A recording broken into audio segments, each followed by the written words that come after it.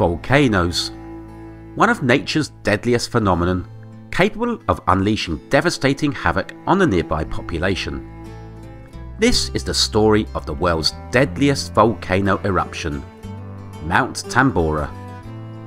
Mount Tambora is an active volcano in Indonesia, located in West Nusa Tenggara in the Lesser Sunda Islands. Before 1815, it reached more than 4,300 metres high, or just over 14,000 feet. This made it one of the tallest peaks in the Indonesian archipelago Tambora is twice the size of the famous Mount Vesuvius. Prior to 1815, Mount Tambora had been dormant for several centuries.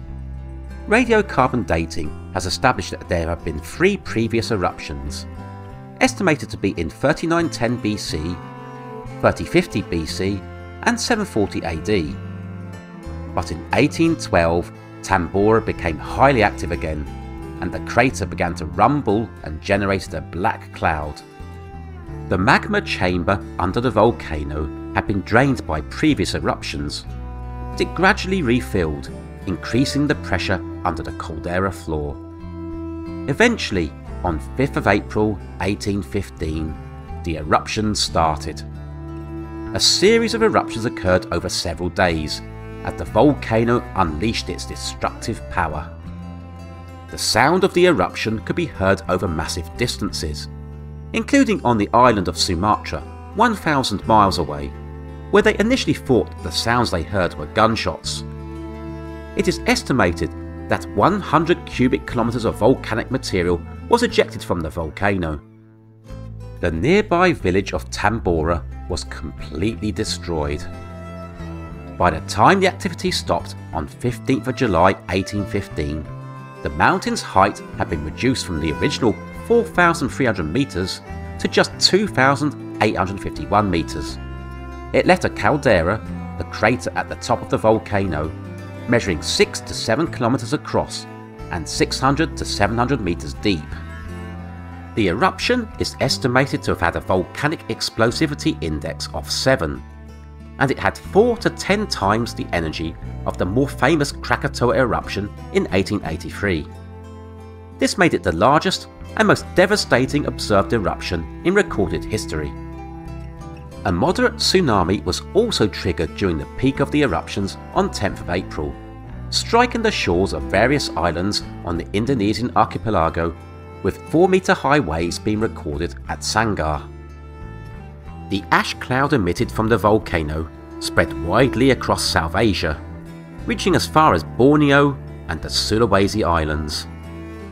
The ash destroyed vegetation, devastating crops in the region and leading to widespread famine. The ash also contaminated water supplies, causing illness in the people drinking it. The 1815 eruption released 10 to 120 million tonnes of sulphur into the stratosphere, causing a global climate anomaly. Average global temperatures decreased by up to 0.7 degrees centigrade, enough to cause significant agricultural problems around the globe. On 6th of June 1816, it snowed in Albany, New York, and Dennysville, Maine. The climate anomaly has been cited as a reason for the severity of the 1816 19 typhus epidemic in southeast Europe and the eastern Mediterranean. In the spring and summer of 1816, a persistent stratospheric sulfate aerosol veil, described then as a dry fog, was observed in the northeastern United States. It was not dispersed by wind or rainfall. Areas of the northern hemisphere suffered extreme weather conditions and 1816 became known as the year without a summer. It is difficult to quantify the number of fatalities caused by the volcano's eruption. It is estimated that up to 11,000 people died directly due to the eruption itself. But the damage caused by the other effects of the event, such as damage to crops leading to famine, is estimated to have caused up to 100,000 more deaths worldwide. Mount Tambora is still active, and minor lava domes and flows have been recorded during the 19th and 20th centuries. The last eruption occurred in 1967, but this was a relatively small event, with a volcano explosivity index of zero because it was not explosive. And there you have it, the tale of the world's deadliest volcano eruption. If you found this video enlightening, please like and subscribe to my channel, and leave any comments on what you think about this video. Thank you for watching.